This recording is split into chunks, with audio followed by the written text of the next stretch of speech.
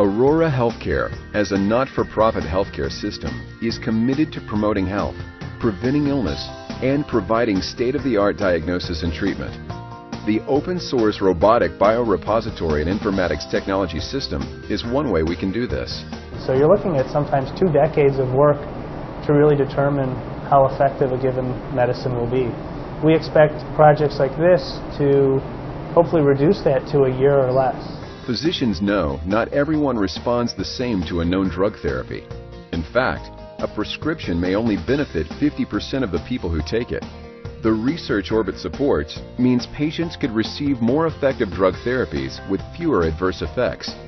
Orbit is also expected to accelerate healthcare research and reduce overall healthcare costs. Let's look at what Orbit is and how it works. Orbit is a library of biological specimens. In the simplest terms, it's a freezer where specimens, such as blood, are broken down into DNA, then cataloged and stored. Patients entering the Aurora system are asked if they would allow their leftover clinical specimens to be used for research.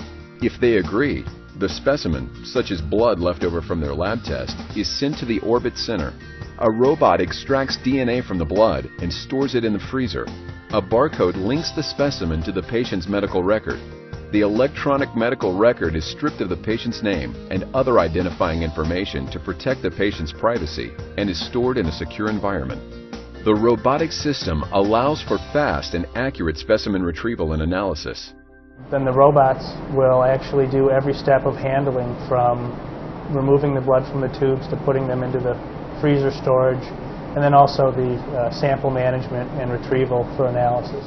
Aurora Healthcare sees 1.8 million patients a year and serves some of Wisconsin's most diverse communities. So far, more than 70% of patients have agreed to contribute to Orbit, putting it on pace to become one of the largest biorepositories in the world. Research done using such a large and varied set of specimens means the results are more likely to apply to a large number of people and have a broad impact. One of the strengths that we add, or one of the areas that we can fulfill with through a repository using Aurora Patients, is bringing tremendous patient diversity and really um, large numbers of samples that are so important these days to performing studies with strong statistical power. Another benefit of Orbit is that scientists will have immediate access to thousands of medically appropriate samples, dramatically reducing research times.